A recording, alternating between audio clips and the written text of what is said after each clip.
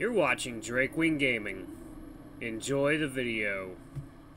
Hello everyone, Nary here from Drakewing Gaming, some of you know on Twitter, The Gaming Dragon. Today I'm coming back at you another Let's Play episode of Tennis Ace, Shuichi's Path. So yes, I'm running the latest build of 0.57. This adds a new day to Shuichi's, uh, to Shuichi's route. Um, I don't, I'm not sure how far in I am. Uh, apparently there's a hub map kind of thing that opens up a little bit later that lets you go on uh, little activities with the boys. So, anyway, let's get back into it, guys. Please sit back and enjoy. Me continue for the next 20 minutes, and let's jump right in. Alarm sender up, and let's go. All right, okay. Well, usually when you give someone a massage, you want to touch the skin instead of the clothes. Uh, My dad used to strip down his boxers when I gave him massages. Uh, oh. Well, what? Well, uh, never mind. Oh, God, I'm gonna... Ugh, my, my tongue. Ah! Forget I said that. This is fine. No, you're right. Um, I don't really feel comfortable taking off my shorts, though. Is just my shirt fine? Yes.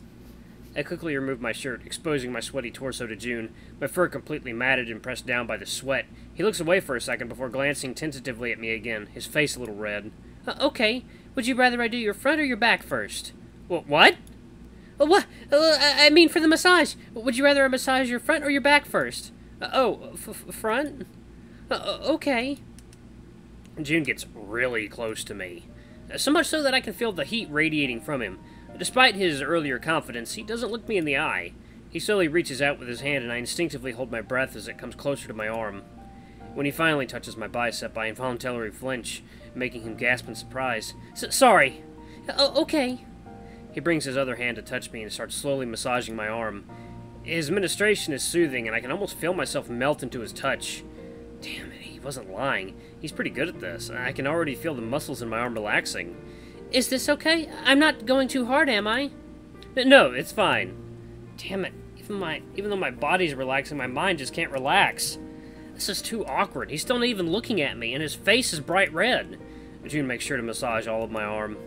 From the base of my shoulders all the way down to my wrist, he eases the tension and gets rid of some of the dull pain that was uh, that I was feeling all over my body.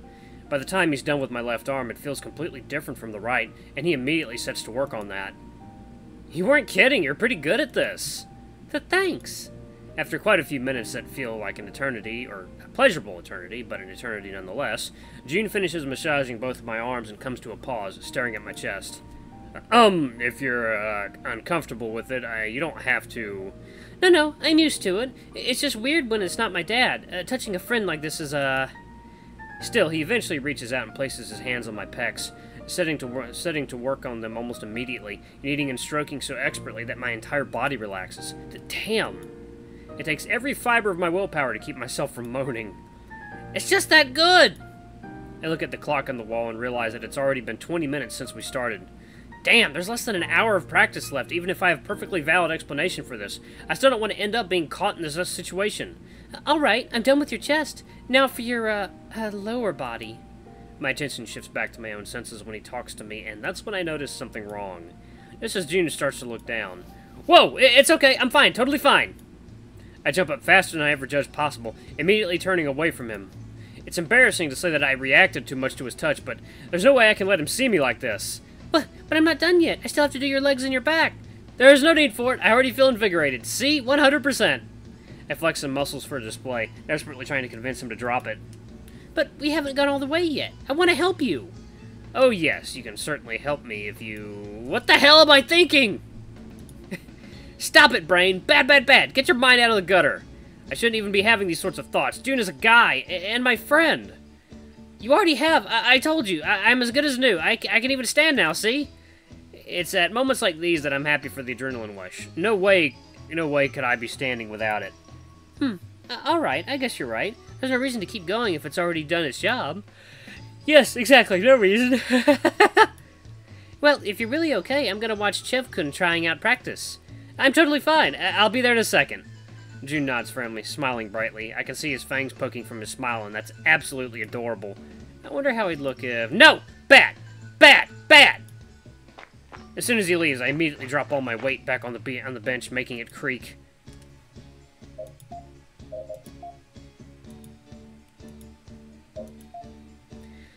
You're such a piece of work, you know? Of all times for you to act up. I guess it's been a while since I've gotten someone's attention down there. Great, and now I'm talking to myself again. oh my goodness. Oh. Poor Yuuichi. April 18th, Tuesday. Such a beautiful day.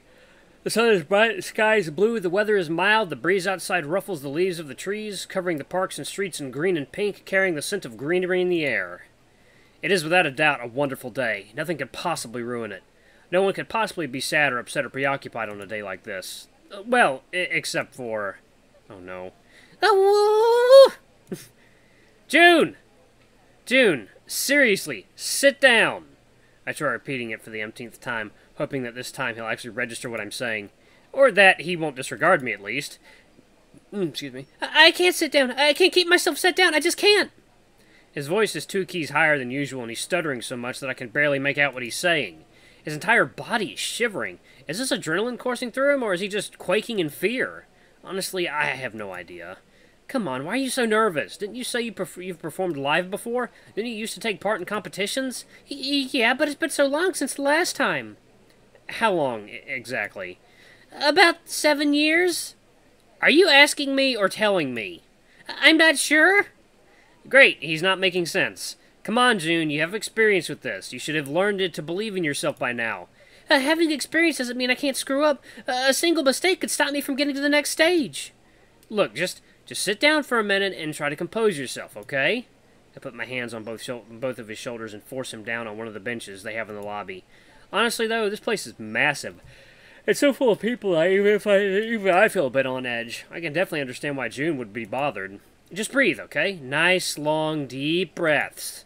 I try showing him some breathing exercises, but he fails pathetically at all of them. His breathing is so rapid and ragged that I'm afraid he just might give himself a heart attack. Actually, could he be having a panic attack? Rapid, shallow breathing, stuttering, pacing around nervously. It does sound like the descriptions I've heard, but then again, I'm no doctor, so I can't really tell.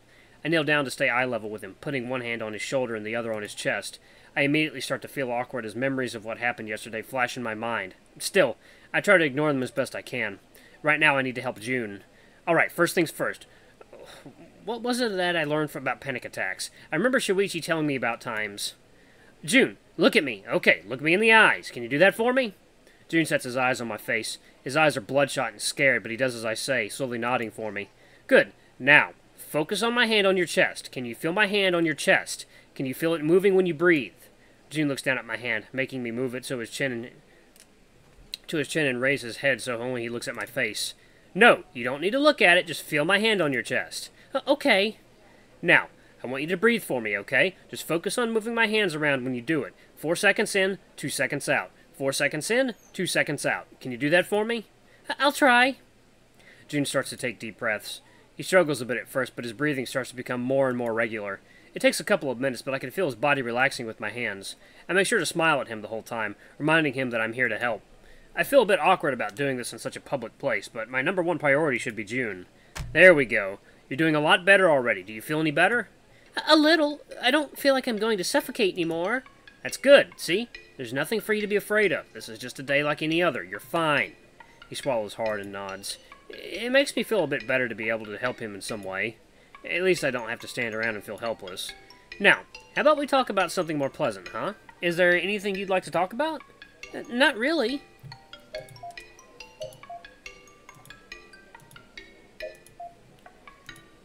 Come on, there must be something. Just say the first thing that comes to mind.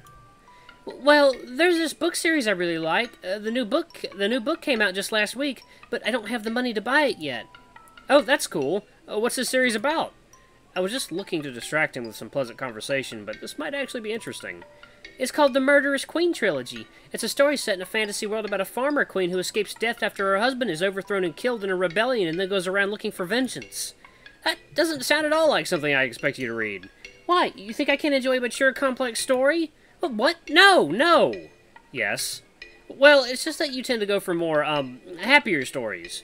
I've heard you talking about some games before, and they were all very, very teen-friendly. This one sounds like something that wouldn't recommend for a 17-year-old. Well, the rating is 17+, plus, and I'm 19. I don't see the issue here. Uh, true enough. If a bit out of character, at least in my opinion. And the book that was just released, the, was that the second one? Jun shakes his head in negative. It's the last one. I read the first two, and they were really good.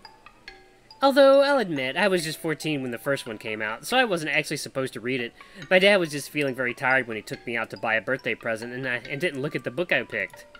Sounds like a lousy parenting at its finest. Mom was really mad when she found the book. Poor dad got the brunt of it. As he should, letting a 14-year-old kid read something like that, but... Then again, I've played games that were like that when I was a kid, so I guess I'm one to talk. Well, it sounds like you said you like it a lot. Uh, what was the name of the of his third book, just for curiosity's sake? I might just end up buying it for him later. Uh, what was it called again? Huh, The Red Keep. Huh, that's an interesting name. I might end up picking up a copy of these for myself. Well, what else? You tell me more about it. Um, I'd rather not. You might want to read them in the future, and I don't want to spoil you. Psh, spoilers are my bread and butter. I don't care about spoilers. Come on, tell me more. Anything that keeps you talking and stops you from freaking out. Well, okay, but first, can you take your hand from my chest? There's some people looking, and it's a bit embarrassing. Ah! I only notice when it, when he pointed when he points it out.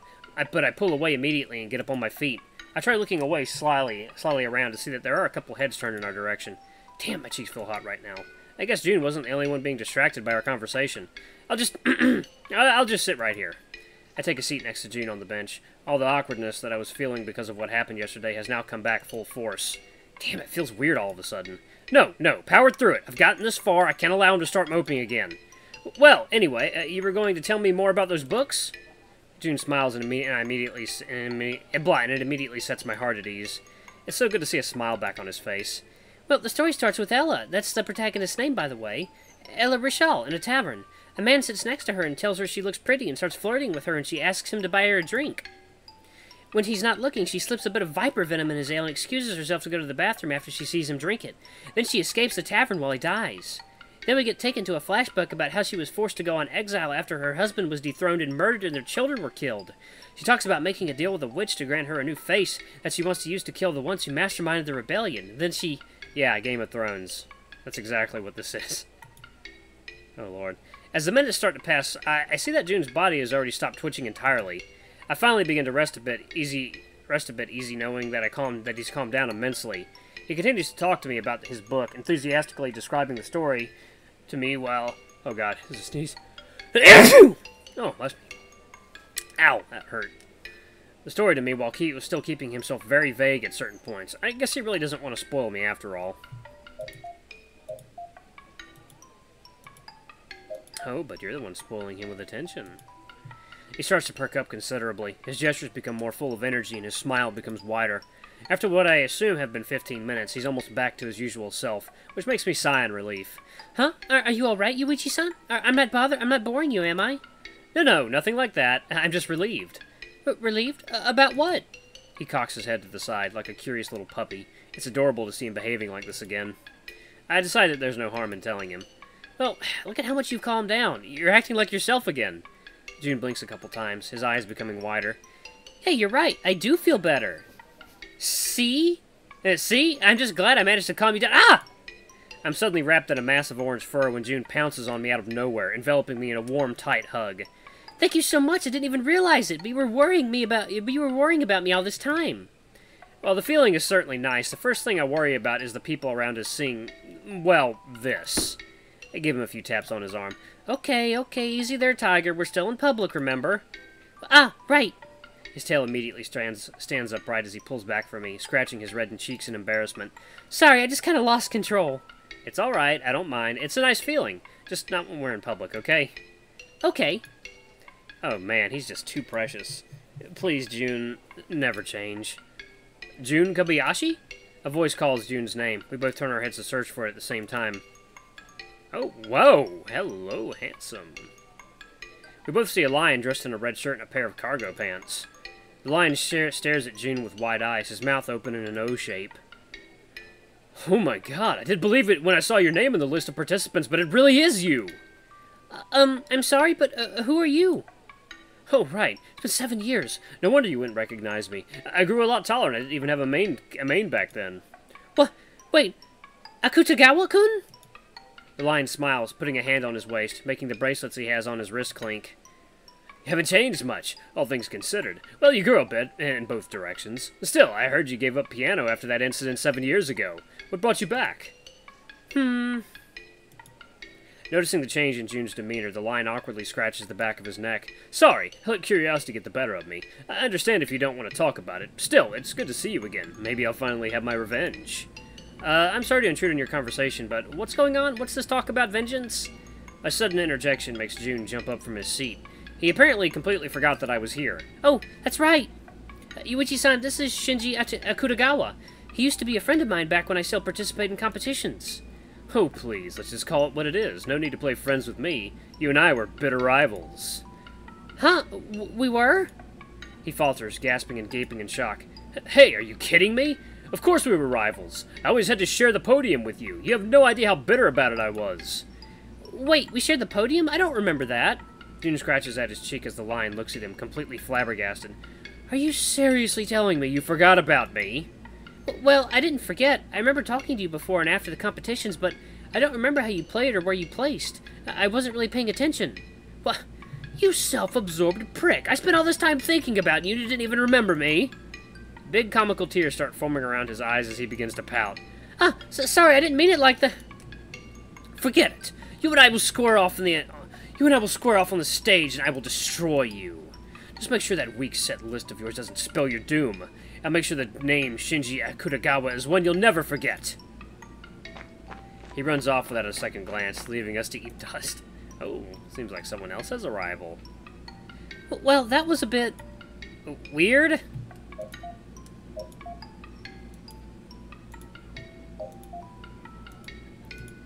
Jun nods in affirmative, still looking confused.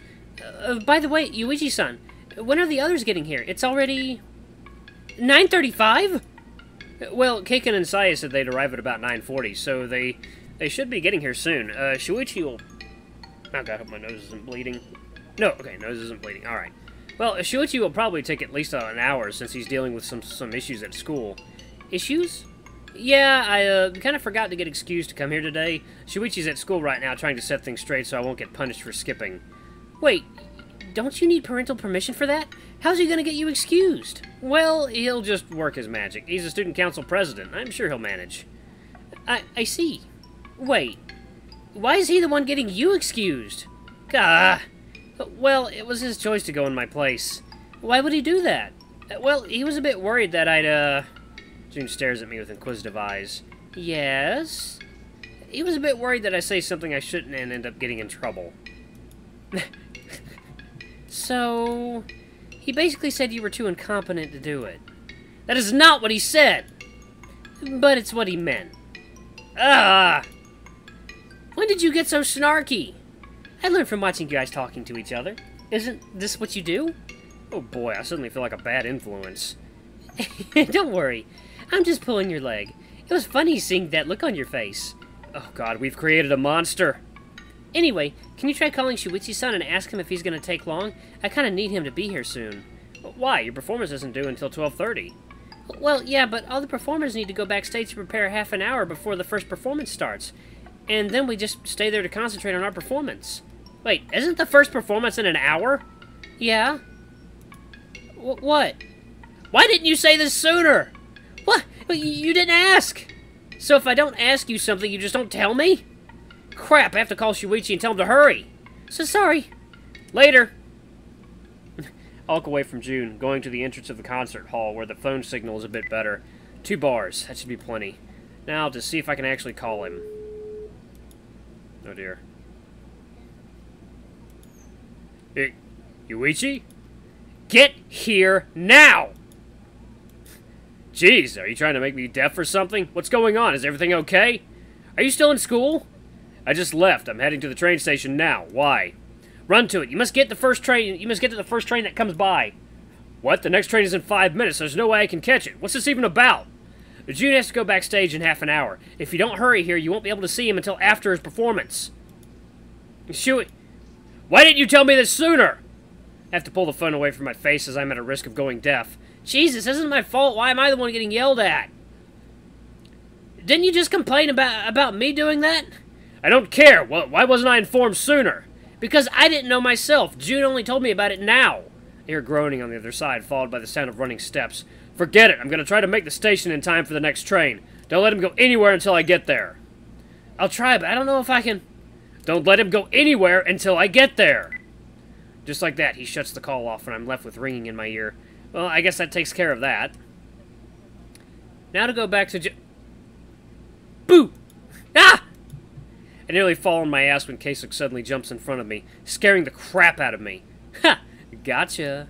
Well, what the hell? Sorry, I saw on your phone and I saw you on your phone and I couldn't resist. When did you even get here? Oh, about 30 seconds ago. I came in with Saya, but she left to look for Kobayashi. And like I said, I couldn't resist, so I stayed behind. Kasich chuckles, puffing up his chest with satisfaction. I sigh. Alright guys, I'm gonna pause it right there. Oh lord. Funny goings-ons today. Alright guys, thank you so much for watching. Don't forget to like, comment, subscribe, ring that notification bell. Leave a super thanks or a tip if you can. It always helps. Oh, man. Oof. And I love you all. I'll see you all in the next video. Bye-bye!